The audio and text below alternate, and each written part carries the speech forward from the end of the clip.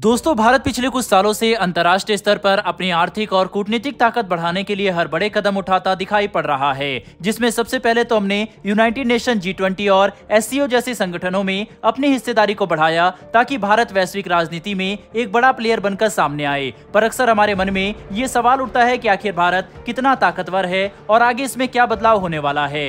दरअसल, इसे समझने के लिए हमें सीधा किसी भी देश के पासपोर्ट की तरफ़ देख सकते हैं की उस देश के नागरिक कितने देश में बिना वीज़ा के ट्रेवल कर सकते हैं, जिससे हमें इस बात का पता चल जाएगा कि कोई देश कितना ताकतवर है। और अब इसी की कड़ी में रूस एक ऐसा कदम उठाने जा रहा है, जो भारत को कई गुना ज़्यादा ताकतवर बना देगा। साथ ही रूस की तरफ़ से उठाए जाने वाले इस कदम के बाद ग्लोबल लेवल पर भारतीय ज़्यादा देशों में बिना वीज़ा के यात्रा कर सकेंगे, और इससे हमारी रैंकिंग में भी बड़े सुधार देखने को मिलेंगे। तो चलिए, बिना समय गवाए जानते हैं क्या कि रूस वह कौन सा कदम उठा रहा है। लेकिन उससे पहले हमारे चैनल को सब्सक्राइब करके बेल नोटिफिकेशन को दबा ले जिससे ऐसी डेली वीडियो की नोटिफिकेशन आप तक सबसे पहले पहुँच सके। दरअसल दोस्तों, सामने निकल कर आ रही लेटेस्ट रिपोर्ट से इस बात का पता चला है कि रूस अब भारतीयों के लिए एक ई वीज़ा फैसिलिटी शुरू करने वाला है, जिससे हम बिना लाइन में लगे रूस के लिए वीज़ा ले सकते हैं, जो अंतर्राष्ट्रीय स्तर पर भारत की बढ़ती ताकत और सॉफ्ट इन्फ्लुएंस को साफ़ तौर पर दर्शाता है। क्योंकि एक तो पहले ही रूसी नागरिक दुनिया के काफ़ी कम देशों में जा सकते हैं और अब यही रूस ई वीज़ा के बाद भारत को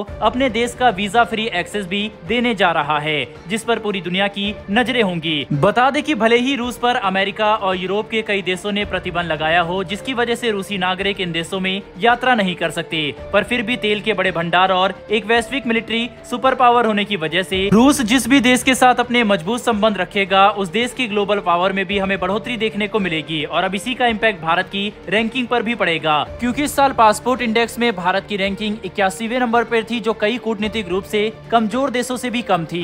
ऐसे में कई एक्सपर्ट का मानना है कि भारत जितने बड़े आर्थिक और सैन्य सुपर पावर की ग्लोबल पासपोर्ट रैंकिंग कम से कम टॉप 50 देशों में तो होनी ही चाहिए। लेकिन ऐसा तब तक नहीं हो सकता जब तक ज़्यादा से ज़्यादा देश भारतीय पासपोर्ट को बिना वीज़ा के स्वीकार न करे। आज के समय में एक भारतीय नागरिक भारतीय पासपोर्ट के साथ दुनिया भर के 57 देशों में बिना वीज़ा के यात्रा कर सकता है, जो काफ़ी अच्छी बात है। पर जापान, स्विट्जरलैंड और सिंगापुर जैसे देशों के लिए यह आंकड़ा भारत के मुकाबले काफ़ी ज़्यादा है। ऐसे में भारत भी ग्लोबल पासपोर्ट इंडेक्स में अपनी रैंकिंग बढ़ाने की दिशा में काफ़ी बड़े कदम उठा रहा था, जिसके तहत हम यूरोपियन, अफ्रीकन और कई एशियाई देशों के साथ बातचीत करके अपने कूटनीतिक संबंध मज़बूत कर रहे हैं। पर जो कदम रूस ने उठाया है, इससे काफ़ी फ़र्क पड़ेगा, क्योंकि रूस जितने शक्तिशाली देश में अब भारतीय ई वीज़ा की सुविधा के साथ यात्रा कर सकेंगे। जो सिर्फ़ चुनिंदा देशों को ही मिली, पर सबसे बड़ी बात तो यह है कि ये सिर्फ़ पहली सीढ़ी है। दरअसल रिपोर्ट की माने तो रूस का भारतीयों के लिए ई वीज़ा जारी करना बस एक शुरुआती कदम है, जिसके बाद अभी भारतीयों को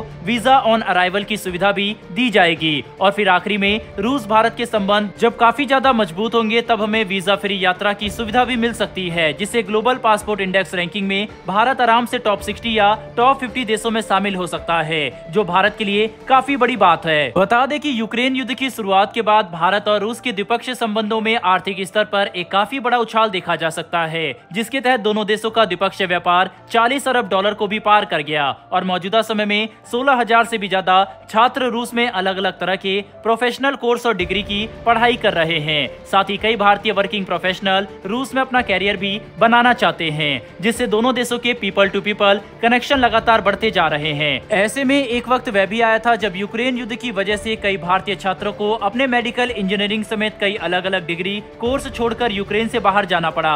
तब रूस ने भारतीय छात्रों को ऑफ़र दिया था कि अगर वह चाहे तो अपनी डिग्री रूस में पूरी कर सकते हैं, जिसके लिए वहाँ का प्रशासन उनकी पूरी सहायता करेगा।